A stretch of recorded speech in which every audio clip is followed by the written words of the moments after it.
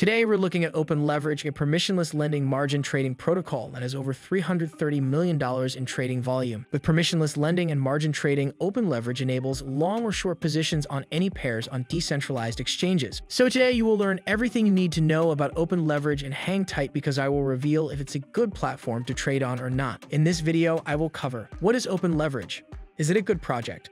AV here and today I will analyze and walk you through Open Leverage. If you find my videos helpful, please make sure to drop a like below to support my work. Let's get into it. What is Open Leverage?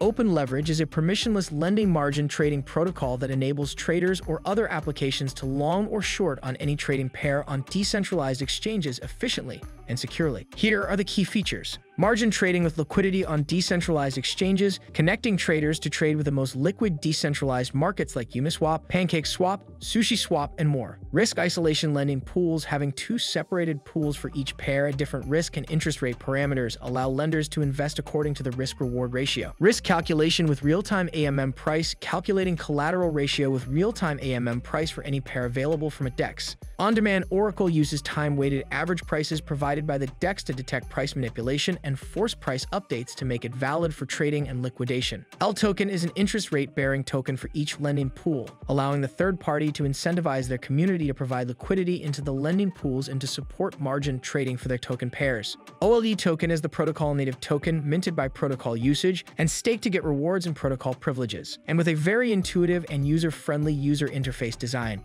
Their roadmap Here's what the team told me.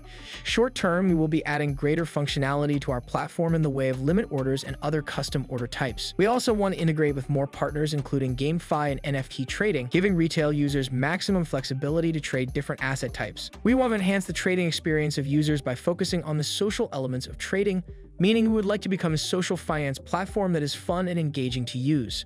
Our ultimate objective is to build a decentralized crypto securities service to retail and institutional clients, providing decentralized lending, derivatives trading, and asset management infrastructure, which integrates with the global DeFi ecosystem.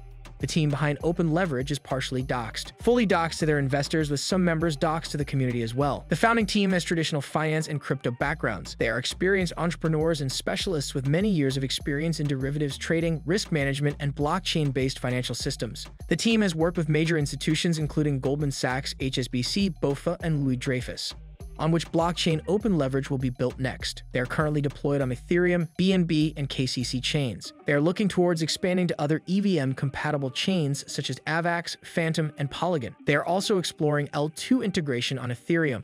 How do they ensure the best security for users fund on open leverage, built with security as a core principle? They have gone through audits from three different organizations, CertiK, PeckShield, and Code4Rena, who have determined no critical or major flaws. All other issues were immediately addressed to the satisfaction of the aforementioned orbs. Use of sophisticated time-weighted average price oracles, which protect the protocol and users from price manipulation on decentralized exchanges, making it both costly and inefficient to try to manipulate price, and protecting lenders from losses built in insurance fund where 33 93% of trading fees go to an isolated insurance contract protecting lenders against potential losses, their competitive advantage. The biggest advantage to using open leverage is the permissionless aspect of trading any token pair. This gives them an advantage over more established yet centralized derivatives protocols that need to manually add pairs. Another advantage is that open leverage turns practically any token into a yield-generating asset through the trader borrowing demand. This yield is organic, does not rely on liquidity mining or rewards. They also generously reward our users by allocating as much as 4 to 6.6% of trading fees to top trading partners and referrers via their invitation lead campaign.